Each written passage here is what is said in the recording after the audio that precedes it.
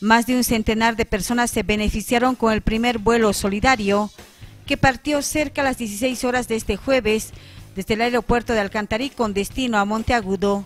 El avión que se trasladó hasta el municipio sauceño tiene una capacidad para 200 personas, informó el secretario de Obras Públicas de la Gobernación, Carmelo Balda. Han sido afectadas especialmente las plataformas, no hay salidas de Sucre a Monteagudo, están suspendidas, por lo tanto el gobernador ha hecho la gestión con nuestro hermano presidente, quien nos eh, están coadyuvando para los vuelos solidarios. Hoy será el primer vuelo, saldrá a las un rato más, ya está en camino eh, la Fuerza Aérea, quienes son los que van a hacer el transporte, y el costo es 80 bolivianos. ¿no? Eh, los, el tramo es Sucre-Monteagudo, Monteagudo-Sucre. ¿no? Se han registrado alrededor de 100 personas, ahorita están unos 70 personas, espero que aún todavía hay tiempo para que lleguen.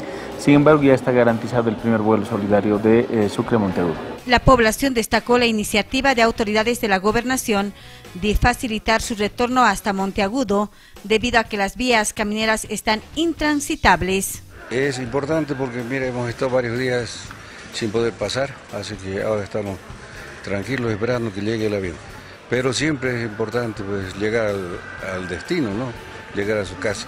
Eh, con la tristeza que nuestro pueblo se, se, ha inundado, y con todo eso estamos muy tristes que allá están nuestras familias y la perdición que tenemos en nuestras casas.